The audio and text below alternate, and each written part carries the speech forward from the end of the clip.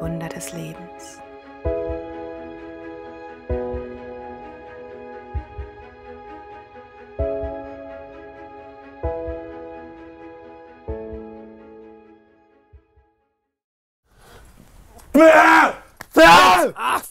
Am liebsten hätte er, glaube ich, jemanden, der sich um all den Scheiß kümmert. Ja, also was weiß ich, einkauft, seinen Müll runterbringt und Rechnungen bezahlt so und er kann halt nur die geilen Sachen machen. Er hatte einen Dienstwagen gehabt, er hat ein Mordsgehalt gehabt und hat gesagt, es wäre wichtiger, dass man glücklich ist im Leben.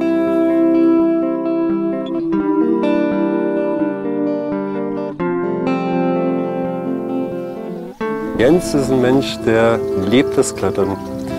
Und das, da bedarf es schon einer ganzen Portion an Leidenschaft. Und die findet man nicht in jedem Mensch. Who's gonna scale this tower? Klettern den Turm hoch. Ja, so einfach ist das. Gib mir Freiheit und den Mut.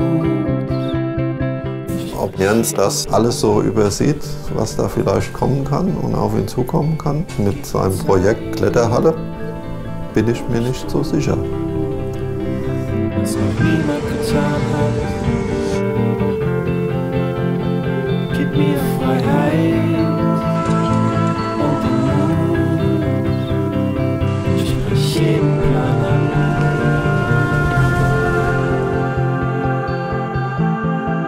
Wir hätten auch die Möglichkeit gehabt, in unserer Komfortzone zu bleiben, unseren sicheren Job zu behalten, den Weg einfach weiterzugehen. Und, und dann ist es halt ein Traum und bleibt ein Traum.